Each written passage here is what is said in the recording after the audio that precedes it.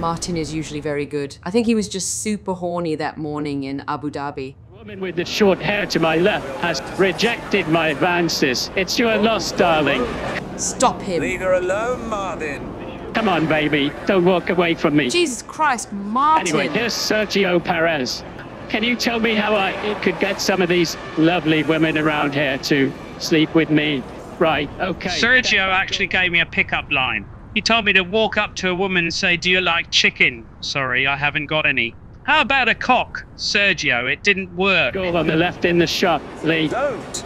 Okay, looks like we have the Hibbity Hop stars, Jay Z and 50 Cent That's here. not Jay Z, and he's not 50 Cent. Easy now, rude boys. What the fuck? 50 Cent, Martin Brundle, Sky F1. Uh, there are some hot bitches on the grid today. In it, Oh, we're screwed. for real fam. Now, if myself and Lewis Hamilton had a competition, who do you think would have the most sex this weekend? I, I have Lewis winning. My You guy. can't ask Let's him see that. if Jay Z is finna say anything. Jay Z Senpai, did you have sex with Beyonce the first time you met? Ah, second time. He's gone along with it. Second time. Second time. Uh, I later found out that wasn't Jay Z and 50 Cent wasn't at the race. To say I was disappointed would be an understatement. Babe, did you fart because you just blew me away? That's a terrible pickup line. We got Blue Bowls Kristen Horner over here. Kristen, have you ever uh, considered changing your name to Kristen Horny? Yeah. Oh, really? He actually wants to be called Christian Horny. So you've Chad Cherry from the Spice Girls. That's the ginger one out of the way. How many left now? Thank you very much. One more to go. Four Spice Girls. You dirty bastard.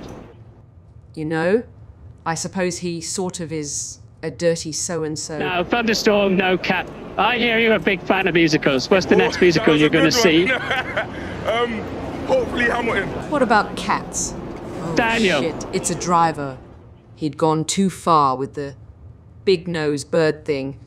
I just had to cut him off. With that mask on, you look like an endangered toucan. What would you like, mate? Just saying that your big nose and the orange mask makes you look like the bird, you know, like a toucan. Well, he did look like a toucan.